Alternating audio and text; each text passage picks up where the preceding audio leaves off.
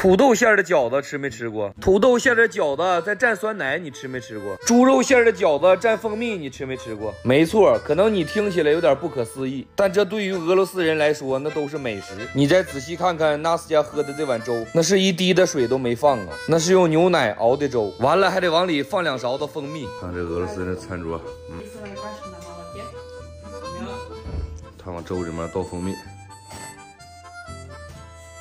那茶里都是蜂蜜。我是发现了俄罗斯人对蜂蜜的使用程度，就好比咱们中国人做饭放酱油一样。不过这一大家子有了我这个中国人加入以后，他们的餐桌上也发生了明显的变化。地三鲜、孜然肉片、茶叶蛋，甚至包括他们饭后喝的茶，都是我给姥姥姥爷从咱们中国拿来的枸杞、桑葚、人参茶。这二位老人那也是知道好，从此那是天天喝呀。看我这帮发小怕我饿，还特意给我带的炒土豆片、元宗炒肉。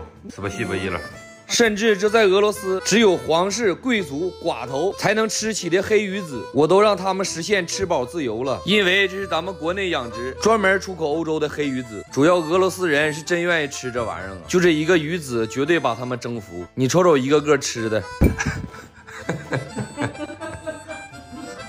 他们的早餐真狠。哦，也把你骂。光光干鱼子，黑鱼子、红鱼子，这就是俄罗斯人的早餐。怎么吃？让我如何下口？哎呦！主要这玩意儿我是接受不太了，黑鱼子勉强能下口，那红的直接吃不了，老腥了。但俄罗斯人是真拿这玩意儿当宝，说这玩意儿营养价值老高了。不过我寻话了，关键那舌头得能享受了啊。不过我还是把这一家人常吃常喝的东西给你们放左下角购物车里了，黑鱼子、蜂蜜，还有枸杞、桑葚、人参茶，没准有能享受了的呢。这么多，大黑鱼子，渴呀就。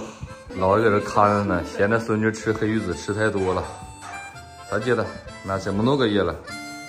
瞧那一克拉巴，怎么知道？哼哼在我刚给媳妇弄吃，我咋？呵呵。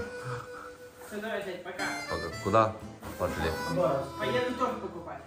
哈哈。